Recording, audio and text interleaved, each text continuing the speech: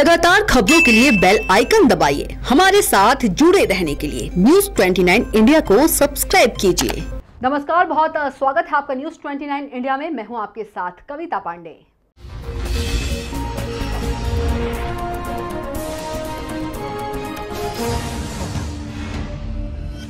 डिंडौरी ज़िले में corona virus से होने वाले संक्रमण को रोकने के लिए हैंड सैनिटाइजर और मास्क को जिला प्रशासन द्वारा आवश्यक वस्तु अधिनियम के तहत इनके विक्रय मूल्य निर्धारित कर दिए गए हैं।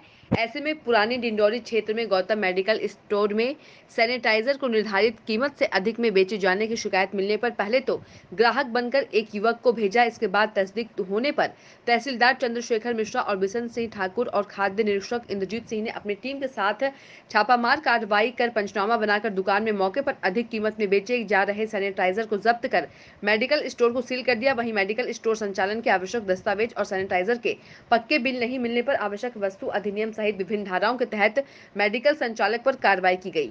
Bureau report, news 29 India. तो आप देखते रहिए न्यूज़ 29 इंडिया, एक देश, सारे प्रदेश।